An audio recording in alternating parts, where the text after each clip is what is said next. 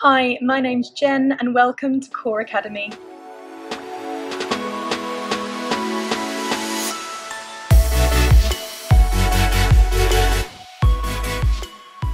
Core Academy is a 28 day journey to real core strength.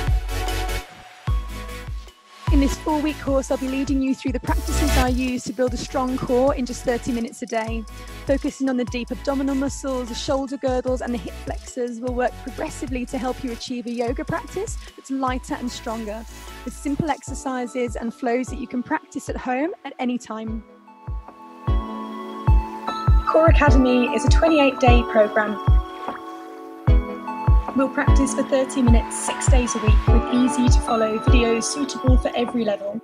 And you'll get a fully outlined calendar so you'll know exactly what to practice when.